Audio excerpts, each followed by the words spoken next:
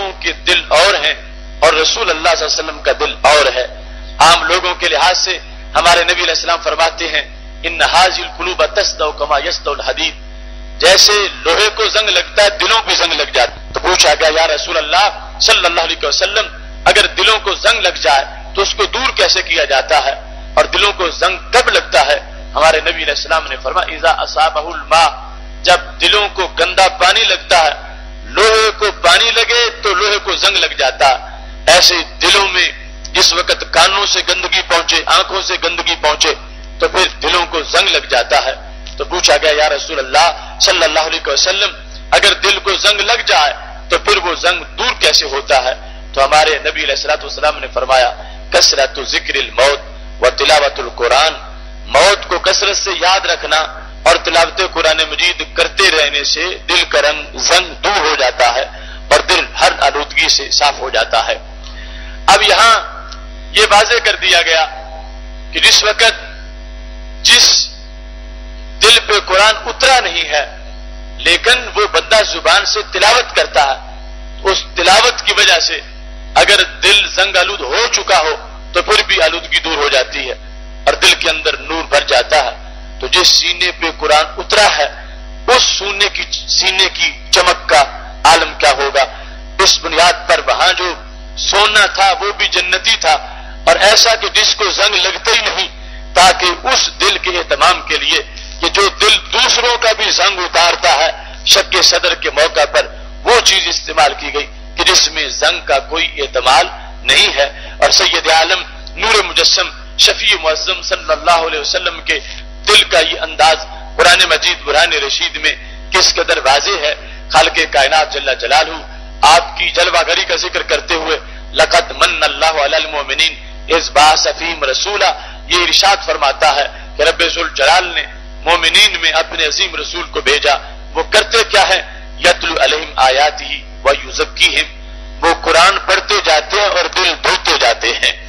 इस बुनियाद पर आज कुछ लोगों का जो वाम है कि वो शक सदर का इसलिए इनकार करते हैं कि शक सदर माना जाए तो फिर ये मानना पड़ेगा कि माजल्ला नबी अलैहिस्सलाम के दिल में कोई आलूदगी थी और उसे धो के जुदा किया गया तो हर ऐसी बात नहीं है। पाक महबूब सलाम के दिल में जितना नूर है, इतना किसी दिल में नूर नहीं है। इस दिल पे कुरान नाजिल हुआ है और इस दिल के नूर से आगे औरों को तजकिया मिलता है। इनकी शान यह है कि औरों को भी चमकाते हैं। इनकी शान यह है कि इन्हें सारी कायनात कहती है, चमक तुझ से पाते हैं, सब पाने वाले। मेरा दिल भी चमका दे, चमकाने वाले। ये कोई गुसल आलूदगी दूर करने के लिए नहीं दिया जा रहा था। ये जम जम को मर्तबा अता करने के लिए दिया जा रहा था। ये कायनात में हयात का फलसफा समझाने के लिए कि और लोगों की हयात और है, और हमारे नबी इस्लाम की हयात और है, और लोगों की हयात जो है, वो दिल अंदर बदन में हो तो फिर बरकरार है, ये हयात वो है कि अगर दिल बदल से निकल जाए तो फिर भी बरकरार रहती है। और फिर जो थाल भर के हिकमत और ईमान का और मजीद अजमतों का लाया गया, उससे ये पेश नज़र था कि कुछ चीज़ें ऐसी हैं उलूम के लिहाज से कि जिसमें बाकी लोग और रसूल अल्लाह सल्लल्लाहु मुश्तरक हैं। मसल हवासे खमसा हमारे भी हैं हमासे खमसा हमारे नबी सलाम के भी हैं। अगरचे ताकत में फ़र्क बहुत ज़्यादा है। हमें करीब करीब से सुनाई देता है, उन्हें दूर दूर से भी सुनाई देता है। हमें देखें तो थोड़ा नज़र आता है, एक हद तक नज़र आता है, वो फर्श पे हो तो उन्हें अर्श तक नज़र आता है। हम मक्खी का पर देखें तो उस पर में हमें कुछ नज़र नहीं आता। वो देखें तो वो कहते हैं कि इस मक्खी के एक पर में वबा के जरासीम है, दूसरे में शिफा के जरासीम है। और उस वक्त ना कोई अच्छा है, ना कोई लिबार्ट्री है, सब कुछ आँख को नज़र आता है। हम सिर्फ़ अपनी ज़ुबान से चखते हैं। हमारी जुबानों के टेस्ट बड्स सिर्फ़ जायका बताते हैं कि खाना कैसा है। ये खाना मीठा है, कड़वा है, तुरश है, कैसा है? हमारे नबी सलाम की कुत जायका सिर्फ़ यही नहीं बयान करती, ये भी बताती है कि जिस बकरी का गोश्त है, उसको जबा करने से पहले मालिक से इजाज़त ली गई थी या इजाज़त के बगैर ही जबा कर दिया गया है आपकी ज़ुबान के साथ मस होने वाली चीज़ का अंदाज यह है एक औरत मदीना शरीफ में, वो एक गैर जिम्मेदार औरत थी और उसके किरदार पर लोगों को शक था। उसने रसूल अल्लाह वसल्लम खाना खा रहे थे। तो कहा, महबूब, मैं लुकमा वो मांगती हूँ जो आपके मुँह में मौजूद है, जिसके साथ आपका लुआब लग चुका है। वो लुकमा सरकार ने निकाल के उसको दे दिया। उसने खाया। अहले मदीना कहते हैं, वो लुकमा जब उसके पेट में पहुँचा तो मदीना शरीफ में हया के लिहाज से उस औरत का पहला नंबर बन चुका था। तो ये तो ताकतें, अगरचे हवास में वैसे भी फ़र्क बहुत है, लेकिन हवास का इश्तराक ज़रूर था। एक हमारे कान है, एक हमारे नबी इस्लाम के कान है। हमें भी कानों से इल्म आता है, उन्हें भी कानों से इल्म आता है। हमें भी आँखों से इल्म आता है, उन्हें भी आँखों से इल्म आता है। हमें भी कुत जायका से इल्म आता है, उन्हें भी। हम सूँगे तो हमें भी इल्म आता है, उन्हें भी। और हम छूए तो हमें भी इल्म आता, उन्हें भी। अगरचे इल्म में बड़ा फ़र्क है, हमारी आँखें महदूद देखती हैं, उनकी आँखें बहुत दूर तक देखती हैं। लेकिन इश्तराक था कि जराए जो हमारे हैं, वो उनके भी हैं। और इसके अलावा मुनफरद ज़रिया वाहिज का है। इसके अलावा मुनफरद ज़रिया जो जलाल ने अपना दस्ते कुदरत हमारे नबी इस्लाम के कंधों के दरमियान रखा और इल्म सीने में जमा हो गया। तो रब्बुल जलाल एक और इनफरादियत भी अदा करना चाहता था कि अजल से अबद तक कोई और सीना ऐसा नहीं है कि जिस सीने में इन जराए के अलावा मजमू तौर पर इल्म को भर दिया गया हो, ये वो सीना है कि जिस सीने का शक सदर में उरूज का ये अंदाज है कि रब्बुल जलाल ने कमी वैसे भी नहीं छोड़ी, हवास के लिहाज से भी वो मिलता है कि जिसका हम तस्वुर नहीं कर सकते। इसके सिवा भी जलाल ने ऐसे उलूम के शोबाजात जो इनफरादियत के लिहाज से आप ही के साथ खास है, और किसी का उसमें कोई हिस्सा नहीं है, थोड़ा सा भी कोई ताल्लुक नहीं है। मेरे नबी सलाम के सीने पुरनूर के अंदर उन उलूम को, हिकम को, हिकमतों को जमा करके रब्बुल जलाल ने वाजे किया कि लोगों, तुम्हारी हैसियत और है, और महबूब की बशरियत और है। इस मकाम पर सैयद आलम नूर मुजस्म शफी मुआजम वसल्लम को जो रब्बुल जलाल ने अपने यहाँ अर्श पे बुलाया तो आपके लिए सवारी भेजी, बुर्राक भेजा। हालाँकि रब्बुल जलाल कादिर है, तय मकान पर भी, तय जमान पर भी, कि वो समेट दे। समेट देता ज़मीन को आसमान को ज़मीन के साथ लगा देता, और आसमानों के दरमियानी फासले उनको भी समेट देता। तो एक पल से पहले रसूल अल्लाह सल्लल्लाहु अलैहि वसल्लम डायरेक्ट हानी से अर्श तक पहुँच चुके होते और दरमियान में न बुर्राक की ज़रूरत पड़ती, न रफ रफ की और न ही आसमां से इजाज़त हज़रत जबरील सलाम के जुलूस। इनमें से कुछ बहीना होता रबेजुल जलाल तो कादिर है, उसका हुक्म उसके सामने किसी की कोई हैसियत नहीं है। आपके सामने वो मिसाल, जब वो शख्स जिसने ननानवे कत्ल किए हुए थे, तौबा के लिए निकला था, उसने पूछा तो कहा गया, अब तू तो इतना बड़ा मुजरिम है, तेरी तौबा कबूल नहीं होगी। उसने उस शख्स को भी कत्ल कर दिया, सौ पूरे कर दिए। अब फिर उसको तौबा का शौक पैदा हुआ। किसी ने कहा, फुला बस्ती में अल्लाह का एक बंदा है, वहाँ तुम चले जाओ, तुम्हारा मसला हल हो जाएगा। ये घर से निकला है, उस वली की मुलाकात के लिए। तौबा की तड़क में निकला है। अभी रस्ते में था, थोड़ा सा सफ़र तय किया था। तो क्या हुआ? मौत का गया, ज़मीन पे गिर पड़ा। और फिर भी शौक बड़ा था मुलाकात का। अपने आप को घसीटता रहा सीने के बल कि मैं कुछ तो करीब हो जाऊँ, मगर रूह निकल गई। अब वहाँ पर फरिश्ते आ गए। दोनों अतराफ के जन्नत वाले भी आ गए और जो जहन्नम पे मामूर हैं वो भी आ गए। सबका झगड़ा हो रहा था। जहन्नम वाले फरिश्ते जो जहन्नम पर जिनकी ड्यूटी है वो कह रहे थे, ये हमारा है, जहन्नमी है। क्योंकि एक कत्ल नाहक भी बड़ा जुर्म होता है और इसने तो सौ कत्ल किए हुए हैं। जन्नत वाले कहते थे, नहीं, हमारा है क्योंकि एतबार आखिरी लम्हात का होता है। तो आखिरत इसकी मोहब्बत वली के जेर साया गुजरी है। आखिरत में तोबा का शायक था। आखिरत में अल्लाह के बंदे की तरफ़ जा रहा था। और जो रब के बंदे की तरफ़ जा रहा हो, वो रब की तरफ़ ही जा रहा होता है। विश्वास ये तो रब का मुसाफिर था। हम इसको जन्नत में ले जाएँगे। रबुल जलाल से रबता किया गया। तो खाल के कायनात का एक अपना निज़ाम है। वैसे वो आर्डर देते तो कौन रोके उसके हुक्म को? वो कहता, जन्नत वालों, इसको ले जाओ। तो फिर भी बात मानी जाती। कहता, जहन्नम वालों, तुम इसको ले जाओ। फिर भी बात मानी जाती। लेकिन उसका भी एक निज़ाम है। उसने कहा की सुमा बई नहुमा जहाँ से ये चला था, जहाँ फौत हुआ है। इस सफ़र की भी पैमाइश करो। और जहाँ फौत हुआ है, यहाँ से लेकर उस वली के घर तक भी पेमैश कर लो।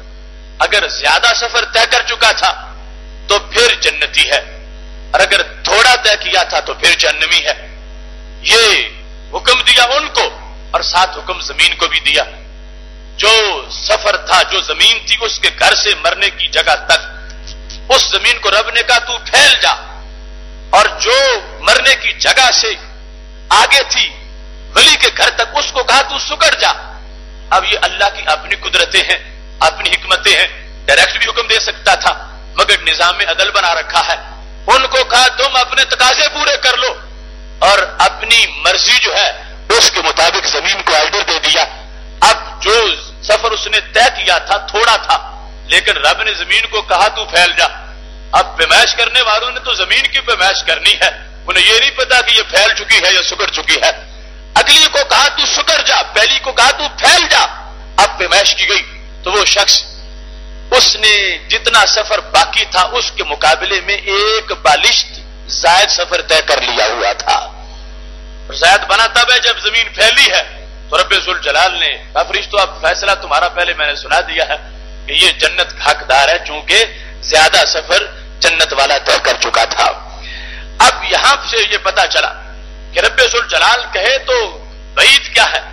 ज़मीन सुकड़ जाए, ज़मीन फैल जाए जैसा हुक्म हो। तो अगर पहुंचाना था मस्जिद हराम से अक्सा तक तो फिर ज़मीन सुकड़ जाती वैसे ही। रसूल अल्लाह वसल्लम दारे उम्मेहानी रज़ी अल्लाह तला से कदम उठाते, अगला कदम मस्जिद अक्सा में होता। ये हो सकता था। और फिर यह भी है कि मस्जिद अक्सा ले जाना, इसकी हिकमत क्या थी? दीदार तो अपना कराना था। तो यहाँ से ही डायरेक्ट रबुल जलाल महबूब सलाम को अपने यहाँ अर्श पे बुलाता। तो अगला कदम अर्श तक जा पहुँचता। सब जमीनें ज़मीन के ऊपर की खला, आसमां सब सिमट चुकी होती और आप पहुँच जाते। अल्लाह ताला के हर काम में हिकमत है। खल के कायनात जल्ला जलालहू ने, उसकी कुदरत के सामने कोई जर्रा भर भी मुश्किल नहीं था कि मस्जिद हराम से अक्सा तक की सारी ज़मीन सिमट जाती। और मेरे महबूब सलाम अगले कदम में मस्जिद अक्सा तक पहुँच गए होते। लेकिन खाल के कायनात जल्ला जलालू ने सवारी भेजी। इस वास्ते कि दुनिया का उर्फ़ यह है कि जब किसी का बहुत ज़्यादा एहतमाम करना हो तो उसके लिए सवारी अपनी भेजी जाती है। उसके लिए सवारी भेजकर भी उसकी वैल्यू का इजहार किया जाता है। दुनिया को बताया जाता है कि जिन्हें हम बुला रहे हैं, उन, उनका शौक इतना है, हमें प्यार इतना है कि हम उनकी सवारी का भी इंतज़ार नहीं करेंगे। हम उनको अपनी सवारी पे बुलाएँगे। तो खाल के कायनात जल्ला जलाल ने वो सवारी भेजी।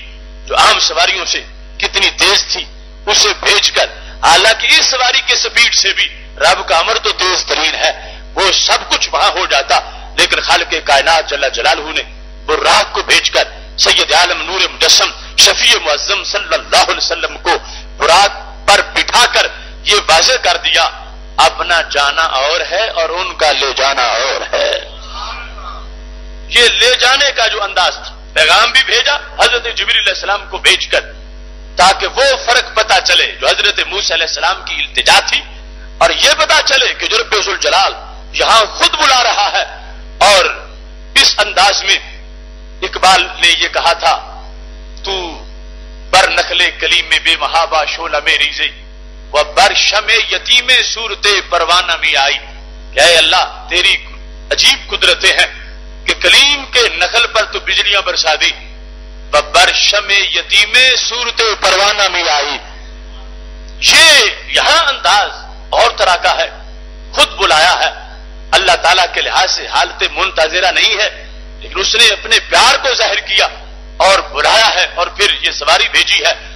के वक्त तय जमान हो जाता वो भी था, लेकिन तय जमान पर सैर का लफज तो ना बोला जाता। मुराद है आयात दिखाना मुराद है सैर कराना। और सैर किस अंदाज में हुई? गुजरते गुजरते वो जगह भी आई।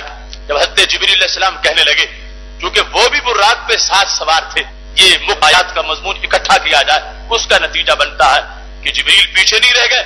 जबरील भी साथ ही सवार थे। महबूब सलाम के खादिम होने की हैसियत से जब मकाम आया, कहा, महबूब, यहाँ उतरो और नफल पढ़ो।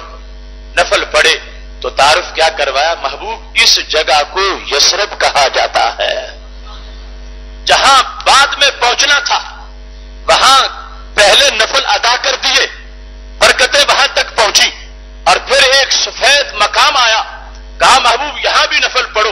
तो पूछा गया, ये कौन सी जगह है? तो कहा, ये मदियन है। उसके बाद मकाम आ गया। नफल पड़ेगा ये बैतुल बैतुल्लाह है। इसकी तारीखी हैसियत क्या है? कहे, सो वो लेदा। ईसा सलाम ये खास जगह है ये